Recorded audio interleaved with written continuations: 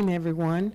We'd like to welcome you tonight to our uh, Tuesday night Bible study. This is Newness of Life World Outreach Center. Uh, glad you um, joined us tonight uh, just for a time in the Word tonight. So we invite you to get your Bibles, get your electronic devices, your phones, um, follow with us in the Scripture um, as we dive into the Word of God tonight. Uh, we believe that by the leading of the Holy Spirit, that this is going to be good, that it will benefit your life, and so we just thank thank you for joining us. And we're going to go ahead and get um, into the Word of God. Let's pray. Father, we thank you tonight for this opportunity that you've given us, Father to come before your presence in your word, Father. We thank you, Holy Spirit, uh, being our teacher, that you're teaching us, you're showing us things to come. You bring all things to our remembrance, and you guide us into all truth. And so tonight, our hearts are open to hear from you. We thank you for your direction and your insight, your wisdom, and everything that we need tonight. We thank you for your word, Father God. It is a lamp unto our feet, and it is a light unto our path. And so we thank you tonight for the word, for those that are joining us. And we expect, Father, our lives to be better because of the word of truth that we'll hear tonight. And we give you the praise for it in Jesus' name. Amen. So again, and we um, um, thank you for joining us tonight. Um, I hope that each of you had a, a great Independence Day um, holiday um, as we celebrated the freedom of our nation. Um, and I know that there are things that are um, currently going on in our nation uh, that uh, don't look so good. But um, as a believer, um, we're to stand in the gap for this land. We're to stand in the gap for our nation.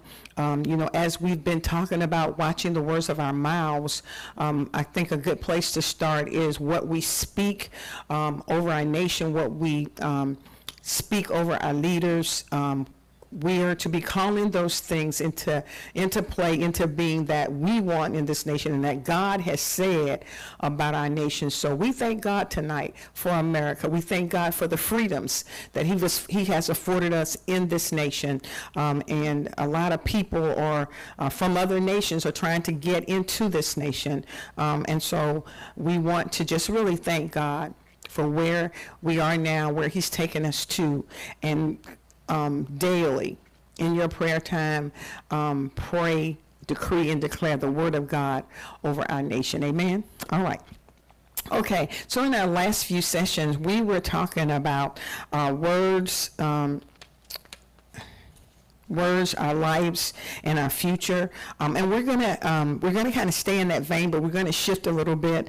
Um, I um, I gave you some things concerning um, what the, the, the scripture says about our words, about watching our words. Um, and I got a little off track. We were talking about where's your mouth, and your future. That's what we are talking about. Um, and so we're going to shift a little bit. Um, and I think this is going to be good um, from the Spirit of God. And so tonight we're going to talk about, even though we're in that same vein, we're going to talk about speaking from God's perspective, speaking from God's perspective. Now, when I began this, uh, this teaching, it really came about um, as the Spirit of God uh, arrested my attention when I had prayed. Uh, I had prayed um, over my daughter. Um, she was having a challenge in her body. I had prayed over her. Um, I prayed over um, her doctors, her nurses. I prayed over the medication that they would be giving her because it was an emergency situation. Um, and um, just some things that transpired, I began to talk negatively uh, about the doctors, and um, I just didn't think they were doing things quick enough for me. and so in that, the, the Holy Spirit arrested my attention. And the Spirit of God said to me, You have nullified that that you prayed by the words of your mouth. Because what I did was I released my faith for God to work in the situation, and then I turned right around out of the same mouth um, and began to just speak negatively um, and really nullified um, what I had prayed, what I had released my faith for. And so the Spirit of God arrested my attention in that area. And it really came back to, and these are things that I know that I've, I've practiced, um, but in this particular situation, I did not do what I know to do. And, the, the, and so that's really basically it. But he arrested my attention to the fact that your words are very, very important. Your words um, release your faith. You le- release faith through your words. And so it's very important that we watch our words. And so, really, that is the reason we got into the teachings that we had in prior Tuesday nights concerning our words. Now, some of you may say, well, um, that puts me in bondage to try to watch what I say. But the good news is, um, you can pray for God to set a guard over your mouth, and it's not um, it's not meant to be something that is um, binding you, but rather it is something that will free you. It will free you. It will it will change the course of your life. Uh, just just that important to change the course of your life. That powerful to change the course of your life. To um, um, just speak things out into your future where your future really is a brighter future. And so as we get into tonight, speaking from God's perspective, this is the thing that God is so gracious that he has um, made available to us everything that we need, everything that pertains to life and godliness. He has given us, we have the very Spirit of God on the inside of us, um, that the Spirit of truth who guides us into all truth. And so don't feel like, um, I, I have to, with watching what I say, it's going to just put me in bondage. No, because it is, it is, it is a freeing thing. It's not a, a thing of bondage. And, and so I, I, I hope you'll keep that in mind as we uh, go into this tonight. Okay. So let's look at the definition of perspective. Now, we're talking about speaking from God's perspective. God is not asking us to make up things to say. He has given us. He has given us promises. He has given us his word. He has given us the ability to speak as he speaks. All of that is ingrained in us, all right? And so he has not made this thing hard. He is not saying, "Okay, I just I just need you to think of some things to say." No, he's given us exactly what to say. He's given us things that we can talk in line with. And matter of fact, his word became flesh and dwelt among us. We had the very word of God dwelling in us. So Jesus gave us the example of how to walk it out, how to speak in line with what God has already said and receive the same results as if God himself were speaking. Okay, it's just that powerful. I think I said in one of our uh, previous lessons that um, God, we are as a um, a human being, as a person, are the only species that God gave the ability to speak. The ability not only to speak, but to actually choose our words. And so um, there is a great responsibility that we have as believers because the way we bring, really bring the kingdom of God on the scene is speaking those things. I bring the, the kingdom of God in my household by speaking what God has said about my household, what God has said about my children, about uh, my spouse, what he has said. And so I take what he has already said and I put that in my mouth. And that's what I speak. And I don't speak contrary to that unless I want a different result. Okay? All right, good. All right, so the word perspective. It is a particular attitude toward or way of regarding something a particular attitude toward or way of regarding something, a point of view. Okay? As we look at some synonyms, it, synonyms it's outlook, view, viewpoint, standpoint, positioned, stand, stance, angle, slant, attitude, frame of mind, frame of reference, approach, way of looking or thinking, vantage point, and interpretation. So when we talk about speaking from God's perspective, we want to align ourselves up, align our thinking up, align our attitude up, align our viewpoint up the way that God sees and the way that God does what he does. Because we talked about this, that we are made in the image of God. God has given unto us his very Holy Spirit that resides on the inside of us. So the very creator of the universe lives on the inside of us. And so again, we're not trying to um, make up something. We're not trying to uh, invent anything because what God has said, He has said. And so what I'm doing actually is lining my viewpoint up, lining my uh, perspective here again, lining the way uh, my attitude toward, aligning uh, my point of view and I'm going to look and I'm going to actually function really the way that God functions. And so we're going to look at some of that tonight. Um, and uh, maybe get a better understanding of that. Amen? All right. Um, let's begin 19 and 89. We'll look at several scriptures tonight. Um, Psalms 1, 8, 119 and 89. Um, let's begin there. Um, let me see. 119 and 89. And I'm going to read it in the Amplified, and then I'll read it in the um, I'm going to read it in the King James, pardon me, and then we'll read it in the Amplified Classic. So for time's sake, um, most of the, the um, other translation I will be doing will be doing be doing it in the Amplified. Um, so Psalms 119 and 89, it says, Forever, O Lord, thy word is settled in heaven. Forever, the word is settled in heaven. So God's first perspective is that he is sure that what he says, what he has said, will come to pass. His God's words are sure. There's no if and but about it. His word is sure. So we want to line our perspective. That is the way that I want to think. That when I speak God's word, that I when I speak what he tells me to say, when I speak in line with what he has said, then I know for a fact that that is a sure thing. God's word is sure. So again, in um, 11989, it says, for ever, O Lord. Thy word is settled in heaven. It's settled. So you know when something's settled, there's nothing else to do.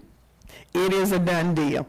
In the um, Amplified Classic, it says, that same verse in eight, uh, 89 says, Forever, O Lord, your word is settled in heaven, stands firm as the heavens. Stand firm as the heavens. All right. So God's perspective, God's word is sure. Let's look at something else. Let's look at Psalms. Since we're in Psalms, let's go over to 111. Psalms 111. We're going to begin at verse 7.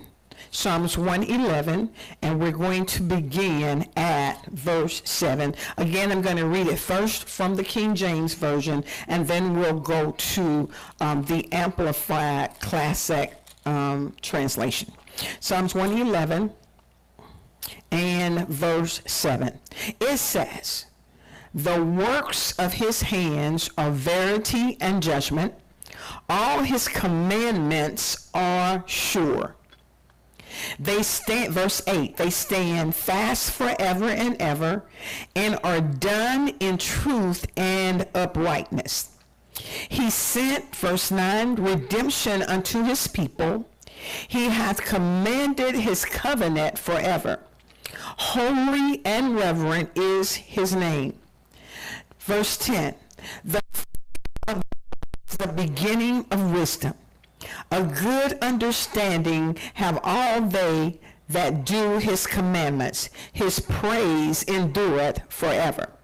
In the uh, Amplified, in verse 7, it says that the works of his hands, listen at this, the works of his hands are absolute, truth, and justice, faith, right, and all his decrees and precepts are sure, listen at this, his decree all A L L.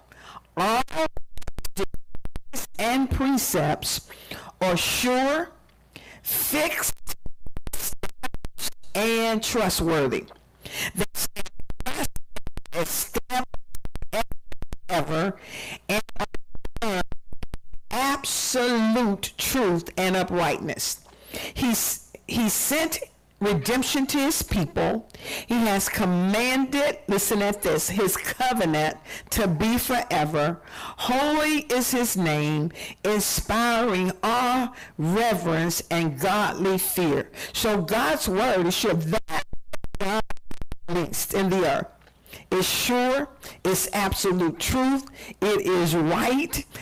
Um, his decrees are sure, they're fixed, they're established, and they're trustworthy. So I can be assured that when I speak, uh, we have truthfulness, we abs- actually absolute truth. We have uh, rightness, we have uprightness, and it is established forever. So God's word is sure. He has made he has laid the foundation. There will not be a change in what he said and what he's done. So if I speak in line with that, I can be sure. Amen. Good. All right. Let's go to let's look at this. Ezekiel 20 12, I'm sorry. Ezekiel 12 and verse 25. Ezekiel 12 and verse 25 in the King James. It says, For I am the Lord, and I speak, and the word that I speak, listen at this, shall come to pass. It shall no more prolonged, for in your days, O will I say will perform it, say it. Now this is Ezekiel, the children of Israel, but they had gotten off in rebellion. And so he has, has a word from God for them. In the Amplified classic, classic, it says, For I am the Lord, I will speak, and the word shall be performed, come to pass. It shall no more, it shall be more delayed for any rebellious house. I will will perform it, says the Lord God. So we know that when we speak God's word, it is a sure thing. And I, I have to go back to this because um, we don't want to get um, in the mindset of, you know, I'm having to um, make, to reinvent the wheel because it, it's, that's not what we're talking about. No, God has already said, I, I don't have to be disturbed by what people think or what people say or how they perceive um, things when I'm speaking in line with God's word. I, you know, I, I'm just sure. I'm just sure that because God said it, His word is forever established. And if I'm in with Him, then no matter what else comes against me or even comes against what I'm speaking in line with God's word, you know, circumstances sometimes um, they look contrary to what we're saying. They look contrary to what God has said that's mine. They look contrary because we have an enemy. And and anything that he can do to try to get us off course, he'll do that. But I have to be sure. I have to be just like God sitting uh, firm in what he has already said, sure in what his word has said. And so we want to just be in, in that vein as we look uh, and speak from God's perspective. And, and, and that's is that God are sure. And God's sure about his words. Amen? Okay. Let's look at one more. First Kings. I say one more. First Kings 8 1 Kings 8, and let's look at verse 56. 1 Kings 8 in verse 56. okay. And let's look at it, I guess, in the, um, we'll look at it in the King James, and then we'll come back and look at it in the Amplified. First Kings 8 and verse 56. First Kings 8 and verse 56. In the King James it says,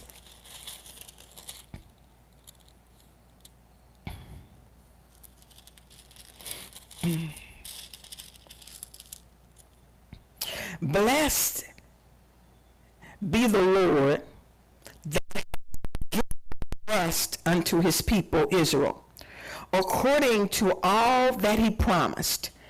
There hath not failed, listen at this, one word of his good promise, which by the hand of Moses, his servant. In the Amplified, in the Amplified, it says, Blessed Israel according to all that he promised.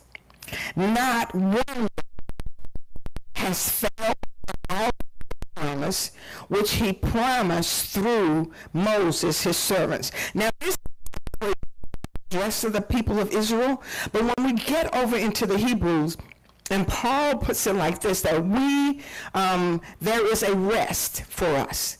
That we the rest of God. And I can enter into that rest because of the fact that I know that God's word is sure. Now, um, you know, once we release the, our faith and release things in the earth according to what God has said, even things that God has, has said that will happen, in the time that we're living in, in the last days, you know, um, things like they were not going to happen. But I don't know if you've looked around, but just some things that the scripture has said that um, in this generation. Um, and so the scripture says that not one word has failed of all his good promise, which he promised through Moses, his servant. And I say to us that every promise that God has promised us, it will be fulfilled. And so God's words, from his perspective, are sure. Um, let's look at one more. Uh, Luke 21 and 33. Luke 21 and verse 33. And verse 33. Let me get there. 21 and 33. And it says, and this is Jesus talking, um, in verse 33, it says, Heaven and earth shall pass away, but my words shall not pass away. Here we go again. God's words are sure. This is this is his perspective. His words are sure. So Jesus, even Jesus said this. He said that heaven and earth it will pass away, but my words shall not pass away. That to me that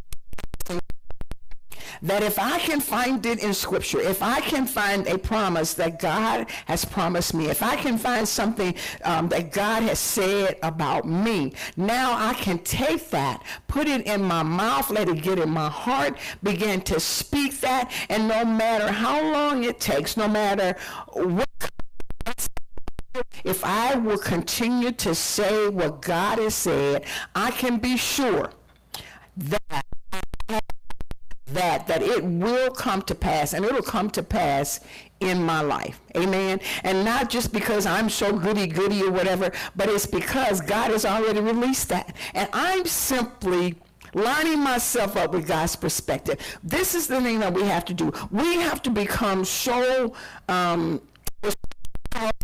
rooted and grounded in truth, we have to become so persuaded, like Abraham was persuaded, that what God has promised he was able also to perform. We've got to get to that place. And we've got to look at it from the, the way that God looks at it, from his perspective. And that is that if he said it, it's a sure thing. It is a sure thing. All right. So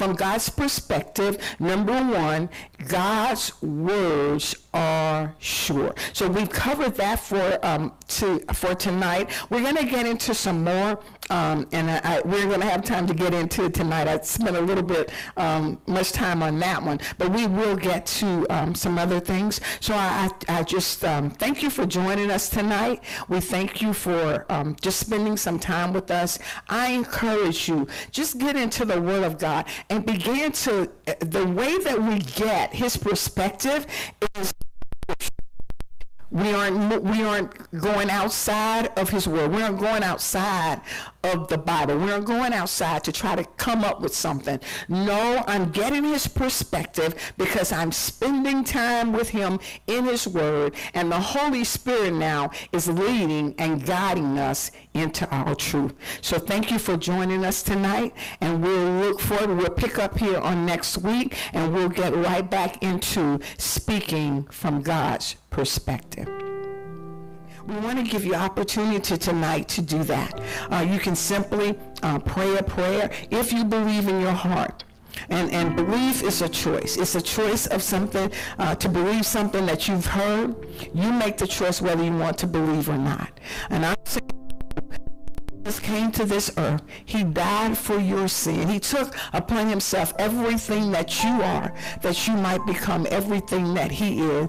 Every sin, present, past, future, every sin, every bad thing that you've done, God uh, placed it upon Jesus. And all you need to do is just receive what he has already made available. And so pray this after me. Say, Dear God, I make the choice to believe that Jesus came to this earth.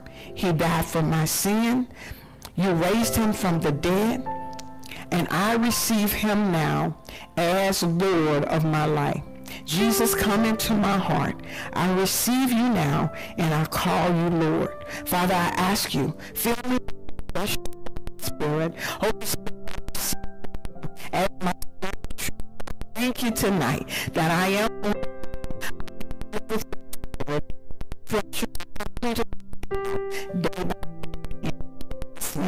Amen. And so we say to you, if you um, repeated that prayer and you believe that in your heart, um, we say welcome to the family things out on our website if you will go to our website and that is www.nloc-outreach.com if you go out look at that access the tab that says uh, what now or now what and you can get some materials there that will help you begin your walk with God. If you um, don't have a a local church that you're a member of, we invite you to come and be a part of this ministry. Come um, fellowship with us, um, and we will receive you. You need to get in a local body of believers that will help you uh, and encourage you in your walk. Amen. Um, so for um, those of you that are so into the ministry, you have that opportunity. Center. You already know what to do with your time and your offering. Those of you that are not a part of this fellowship uh, and you are not um, a member of a local church, then you are free to uh, sow into the ministry your offerings and we will receive them. This is good ground. We believe that. And so thank you tonight for joining us. Um, we um, hope that you receive something from the Word of God. We say that for some of us it was seeding, for others watering, but we expect increase on the word of God that we heard, that we received, and that we practice. And we say as we leave that you can walk in a new quality of life. God bless.